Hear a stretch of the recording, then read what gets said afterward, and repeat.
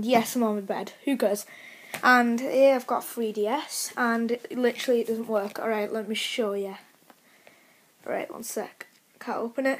So, it's okay, a bit, but let's try and turn it on. Let me make sure you guys can. Oh my god, literally, guys. It's not normally like this videos, is it? So, turn the DS on, and then look what happens.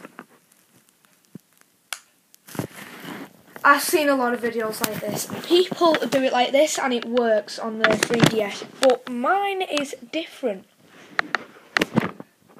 Look. But sometimes, if I stretch it out and then close it and then just leave it, sometimes the blue light stays on, but it didn't then.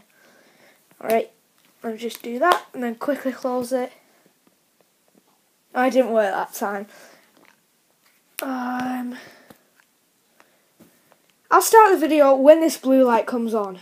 So guys, it's not doing it. I don't know why. Let me just try it one more time. I've had like five tries. Right. No. Okay. Let me show you some. It might be hard to hear this, so I'm going to turn the sound all the way up so you can guys hear this. You might hear background noise.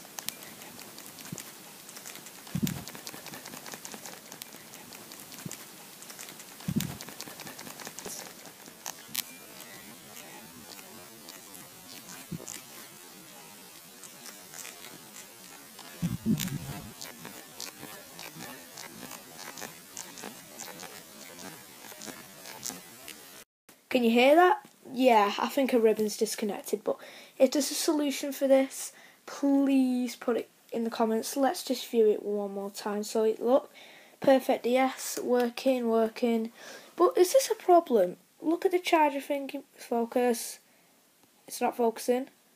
I don't know whether you guys can see that. I don't know. Alright, let's start it. So, starting the 3DS, blue light comes on. Let's. I don't even know why I did that. Right, let's do it again. Right. I don't. I just don't know. Me, I'm not sure if it happens in the top screen as well. One sec. No, it only happens at the bottom one. I'm sure it used to happen at the top. Let's put it upside down. And once when I plugged my headphones in, it also came out, the sound came out the headphones instead.